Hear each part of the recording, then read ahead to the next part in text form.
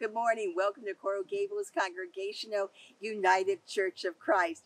Elena, who's on the other side of the camera, and I welcome you to this new day and to this time of morning reflections. If you have been with us the last couple of days, you know that this week, as part of our morning time, we are celebrating some of the musical gifts of our church members.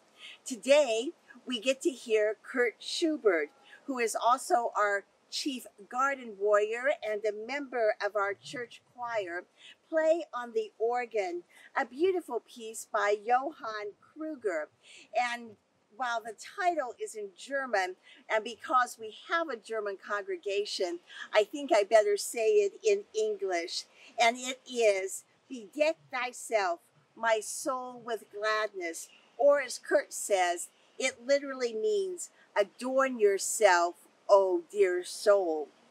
The chorale is historically used for Lutheran communion and is said to describe the relationship between Jesus and the communicant as like the closeness between a bride and a bridegroom. Now, I suspect most of us know at least a little bit about being in love.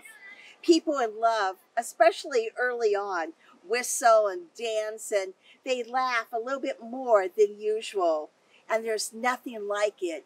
It feels so wonderful. And so, as you listen to this piece, think about how it musically is telling of the deep love, devotion, and commitment between Christ and each one of us. And think of the great joy and gladness that comes with such a relationship. And may such love then carry us through the challenges and the difficulties and the worries of this day. So please take care of yourself, take care of each other, and enjoy Kurt playing this beautiful song.